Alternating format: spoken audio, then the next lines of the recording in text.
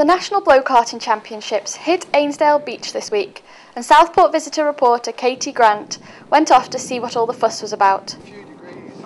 After a professional lesson, she kit herself out and gave it a go. Blokarts can hit speeds of up to 60 miles an hour and cost about £1,300. Blow karting is one of the easiest ways to learn to sail um, and we can get total novices out within about mm, 10-15 minutes um, and a bit of instruction.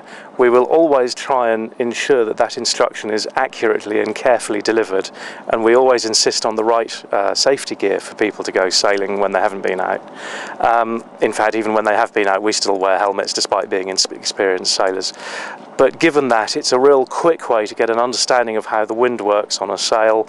Um, and then, because your backside's only about four inches off the deck, you feel like you're doing 70 mile an hour when you're doing about 25. So it's real fast, safe fun and great for all the family.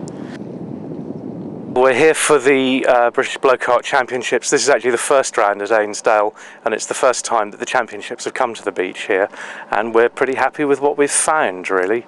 Um, we're expecting about 26 competitors tomorrow, possibly a couple of extras um, and praying that the wind will start blowing nicely for us so we can get up to our useful speeds.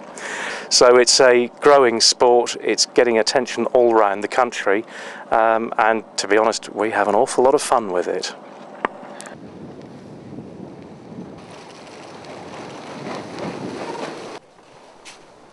That was truly amazing and I'd really recommend it to anybody else who was up for the challenge.